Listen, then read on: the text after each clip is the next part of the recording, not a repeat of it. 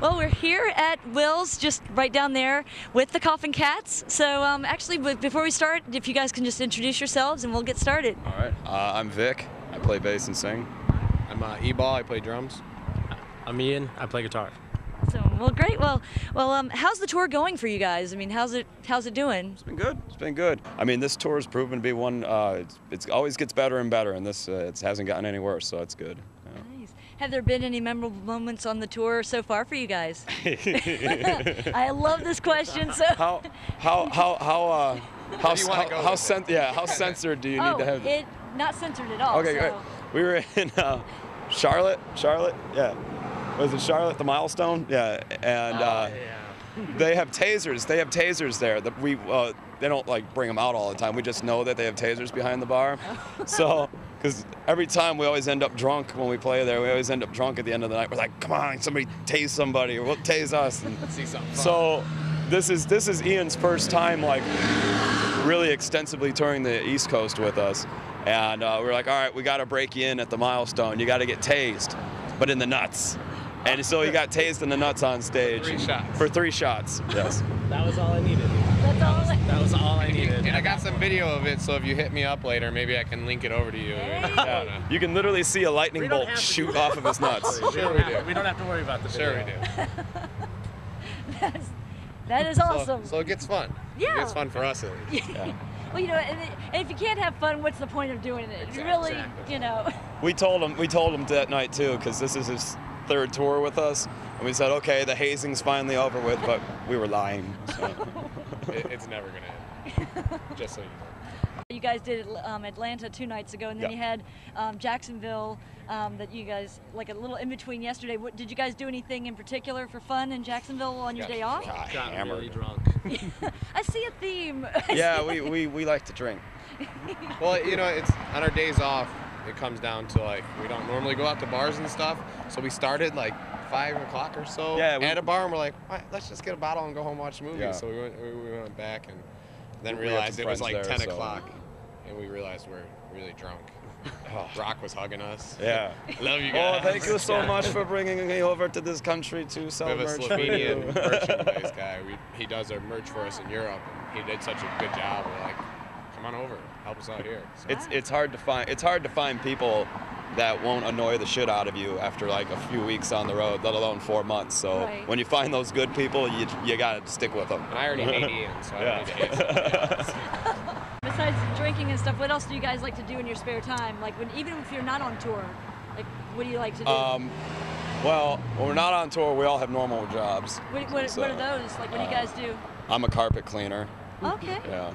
Work for the post office. Post office, and I work in a warehouse, in an air filter warehouse. So. Oh wow. well, it, well, it's good though to have like to find jobs that allow you guys to tour though. I mean, that's probably the the hardest thing. It It really It, it is. really is. I mean, that's that's the only reason that we've been able to, you know, we were able to stay out for like, you know, seven to eight months out of the year. Mm-hmm. It's because we have cool jobs that allow us to come back, and that's how it's always been for us. You know. So we, so when we go home, we, we make sure to work Yeah. extra, extra hard and, and overtime or whatever they need, so you we can keep that. You don't want to lose that. other than that, Vic makes workout videos. Yeah.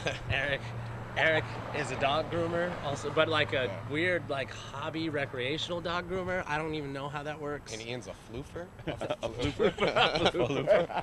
A falafel. I don't know what that is. It's French. On the website, you guys asked the fans what they wanted to see or hear on the tour, like what songs. You guys had a list of songs. Yeah, Yeah. we need to update that too, by the way. Well, actually, no. You know what's funny? Is we, we used it a couple tours to make our, our set list, and we made a set list without looking at it this time, and it's other than one or two songs, we're Yeah. dead on. Yeah, Oh, because we, I mean, we just we always listen to what people shout out at the shows, or people, you know, the majority of the song that somebody asks you before you play, like, hey, you're gonna play this, we're like, oh, we gotta eventually incorporate into the set list. So our set is our set is not self selfishly made, I guess. You know, it's made for you know the people that come out to the shows. Yeah, I mean, is there like one or two songs in particular that you guys really see like that hands down show up more often? It's than- always like your chainsaw massacre. Chain, your yeah, the old, the, Tree, you know, for sure. yeah, and uh, chaos from that's some of the newer stuff, and um, it's, uh, it's funny a lot of people you know ask for Wild Ride, but that's on the newer CD. It's been out. It's been out for a while now. For but- Sorovia, people keep talking about Yeah. that. It's just because uh, it's I don't know, just because it has a one Russian word in it. Yeah. And, And it's fun to say. definitely It's dig fun to say when you're drinking. If somebody just clicked on this interview and they hadn't heard of Koffin Kats, how would you describe your music to somebody that does not know what you guys sound like? Uh, I always start off and say it's like punk rock and roll, just not to scare anybody off at first. Right. and then uh, you know explain it's like with an upright bass, and if somebody doesn't know what an upright bass is, then I usually go like, um, you ever heard of the Stray Cats, or you know like the big looks like stand-up cello, and you know, but yeah, I was just, I mean, we're pretty much a punk band with an upright bass, but we we cover we, co- we cover all you know all ends, I guess, of it.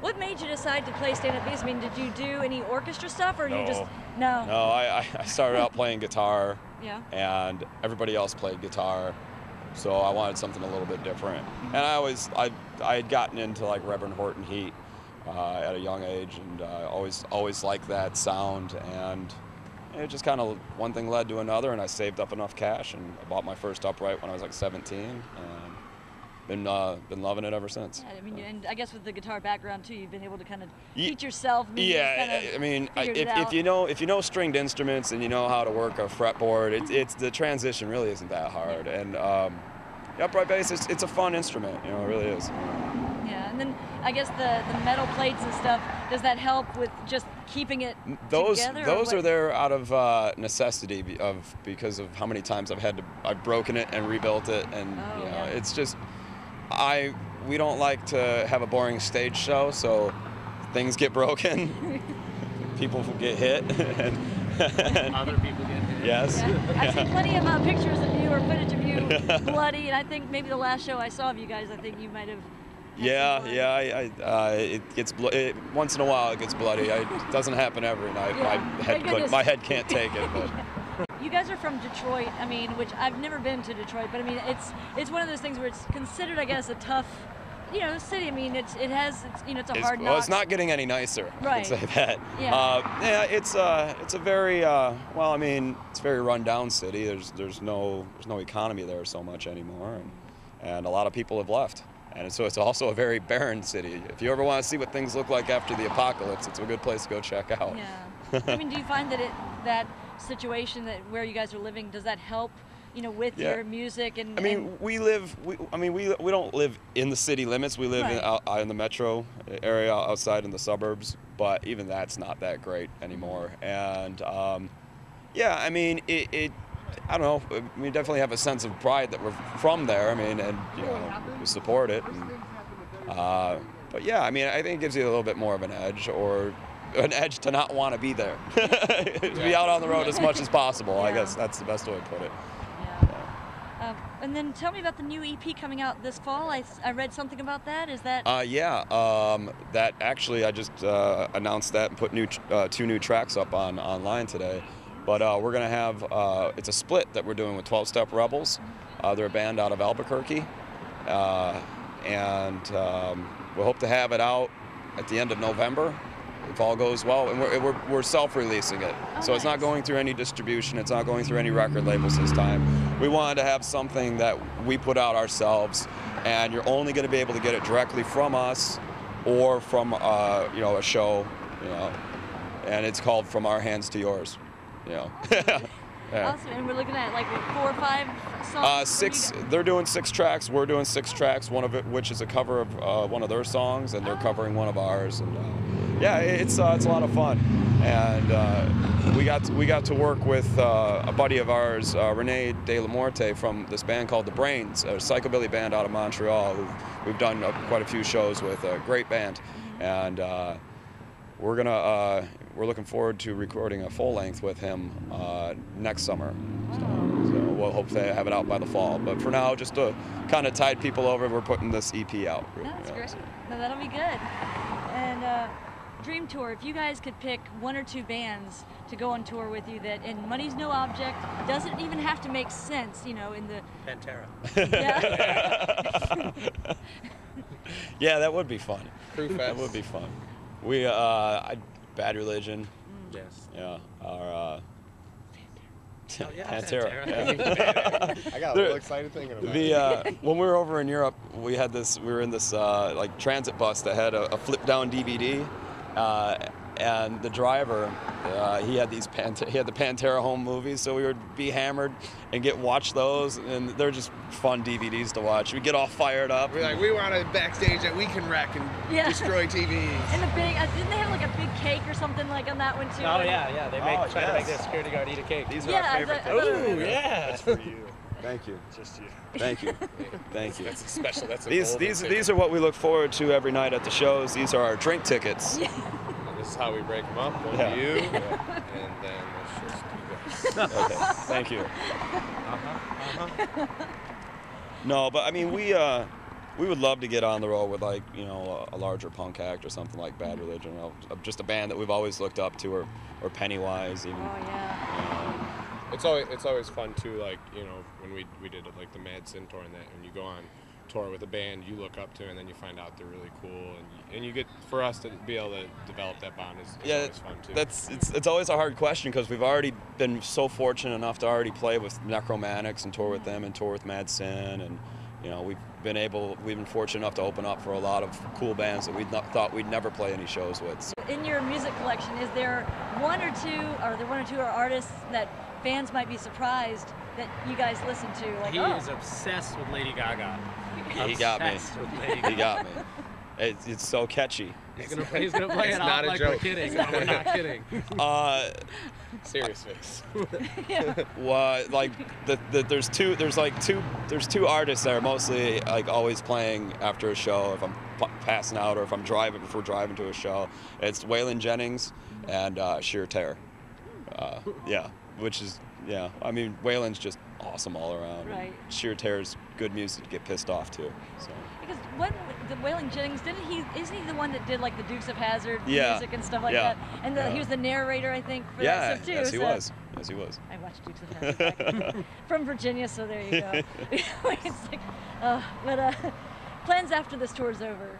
What are you guys doing? um, we're going home for a month and uh, braving the Michigan winter and uh, I'm going back to We- Mexico. yeah Oh, you're from, so you're from New I'm Mexico. from New Mexico, actually. Oh wow, okay, Yeah, he's he's he's not an original member. right. No one cares about that. Yeah. One drink ticket. Um, That. oh, we're gonna be we're gonna be home for a month, uh, hopefully, because it's still very up in the air right now. But we're working on a, a tour, uh, in, that's gonna take us for a month over in Europe for most of February. Yeah. So we'll see what happens with that. And then once we get back from that, it's back on the road in the states, coast to coast. and we'll come home for the summertime, record uh, the full length, and then go back out on the road for the fall time. So we always plan our year out, you know, at, at the, towards the end of whatever year, and plan out the whole next year. And it's this cycle we've had going now for four years, and and it's been working pretty good. Right. And I'm guessing too the jobs. It's a perfect way for them to, you know, okay, you come in at this time. Yeah. Yeah, they kind of know. The, the the goal the goal is, and it's getting there slowly but surely, is to not have to go back to work, but. Right. you know, we, we don't we, we don't get rich doing this. We basically make enough as if we were working our normal jobs, sometimes a little bit less, but enough to pay the bills at home, make sure that everything's you know, make sure the electricity, make sure the lights are still on when we get home, and and that's it. You know, we all we all live pretty simple. So we just need to make a little bit more to get that bar tab. So when we're home, we can be Right. that guy that sits at the end of the bar. that's yeah, that's. That's the hardest part is being home and not being in a bar because you're so used to being in a bar every night and trying to be in a bar every night when you're not on tour is very costly. Yeah, true. I bet. And then, lastly, what message do you guys have for your fans? Thank you. yeah. Thank Yeah. you. Thank you very much. Thank you. I mean, well, we we are forever grateful that we have people coming out to the shows and to see the shows get you know over over seven years now. See the shows progressively get larger and larger and uh, more interest. You know, and from uh, from genre, you know, from fan base, all kinds of fan bases. You know, it, it's, it's cool to see that spreading and people have a nice open mind about what we do and. It's cool to see, so we certainly appreciate it. Looking forward to this uh, to the show tonight, and then uh, so that's it. So thank you very much. Yep. Thank you.